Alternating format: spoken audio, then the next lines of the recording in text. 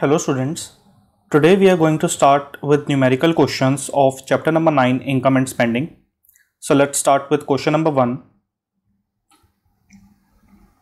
Here we investigate a particular example of the model studied in sections 9.2 and 9.3 with no government. Suppose consumption function is given by C equals to 100 plus 0.8y while investment is given by I equals to 50. And first part is what is the equilibrium level of income in this case? So let's start with the solution. At equilibrium, output is equal to aggregate demand that is y equals to AD. In the next step, we can write it as y equals to consumption plus investment although we know that AD that is aggregate demand has four components consumption, investment, government expenditure and net exports. However, in our question it is clearly mentioned with no government and net exports is also not given in the question. That is the reason we have written C plus I. Okay. In the next step, we will incorporate the consumption function and the value of investment. So we can write y equals to 100 plus 0.8y, this is the consumption function, plus 50, this is investment. Next step, y minus 0.8y becomes 0.2y and 100 plus 50 becomes 150. And finally, we get the value of y as 750. At the end, we can write Thus, equilibrium level of income is 750. Clear? Second part, what is the level of savings in equilibrium? We know that income is either consumed or saved. So we can write y equals to consumption plus savings. In the next step, we can write it as savings equals to income minus consumption Next step, savings equals to income minus consumption function which is given as 100 plus 0.8 y. Next step, savings equals to y minus 0.8 y becomes 0.2 y minus 100. Because we have to find out level of savings in equilibrium, so in the next step we will incorporate equilibrium level of income at this place and we have already calculated equilibrium level of income in our first part as 750. So we will write savings equals to 0.2 times 750 minus 100 and finally the value of savings is 50. So at the end we can write thus equilibrium level of savings is 50.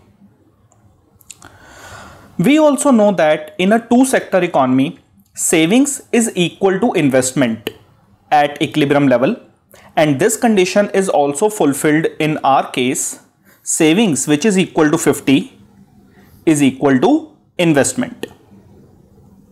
Clear?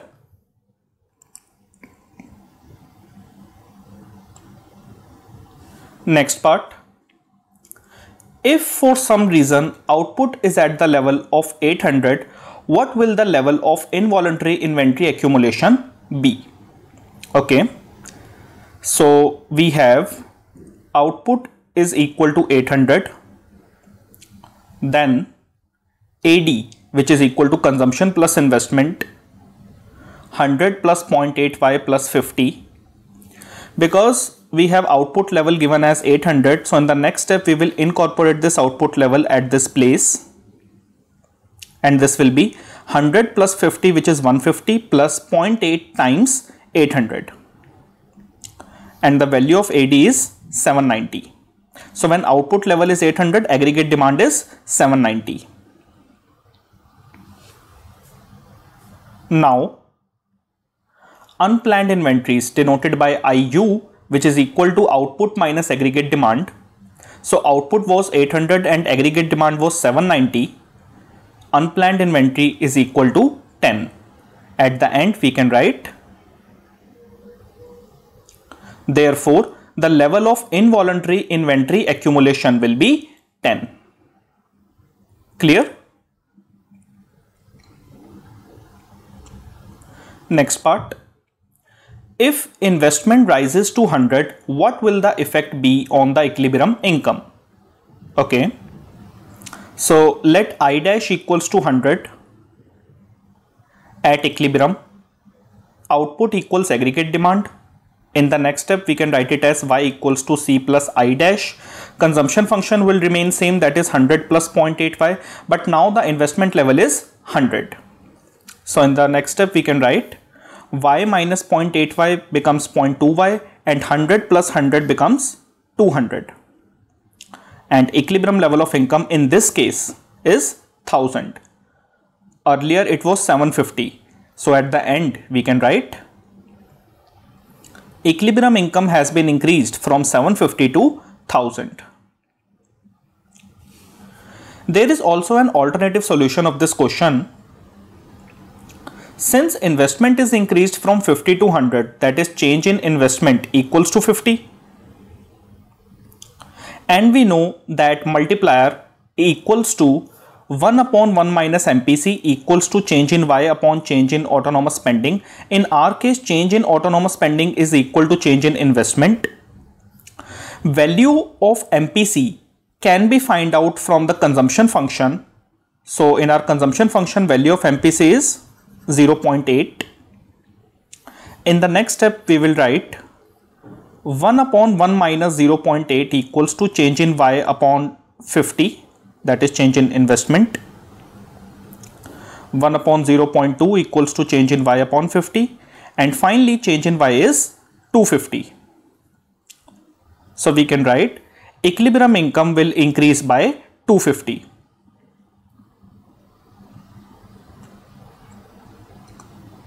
new equilibrium income will be 750 plus 250 which is 1000. So this is an alternative solution of D part. Next, what is the value of multiplier alpha here? Okay, so we know that uh, multiplier equals to 1 upon 1 minus MPC. In our case, MPC is 0.8. So in the next step, we will write 1 upon 1 minus 0.8 which is equal to 1 upon 1 upon 0.2 which is equals to 5 so the value of multiplier is 5 clear? Next part. Draw a diagram indicating the equilibria in both part A and part D. Okay. So here we have two axes. This is the origin on the horizontal axis we have taken income or output and on the vertical axis we have taken aggregate demand. This is our 45 degree line. Now let's come on to part A. In part A our aggregate demand function was calculated as 100 plus 50 which is 150 plus 0.85 so this was the AD function for part A. Now we will draw AD curve for part A and we'll write AD equals to 150 plus 0.8 Y. This will be the point of equilibrium named as point E. In part A, equilibrium level of income was calculated as 750 so we'll write 750. Clear? Now let's come on to part D. In part D, when investment rises to 100, aggregate demand function becomes 200 plus 0.8 y.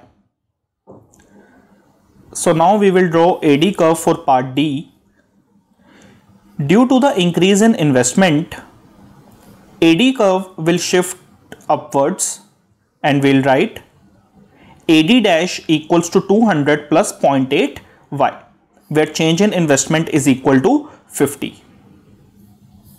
This will be the point of equilibrium. named as point E dash. In part D, new equilibrium income was 1000. So we'll write 1000. So the question was given draw a diagram indicating the equilibria in both part A and part D and we have drawn this diagram which shows equilibrium for part A and equilibrium for part D. Clear?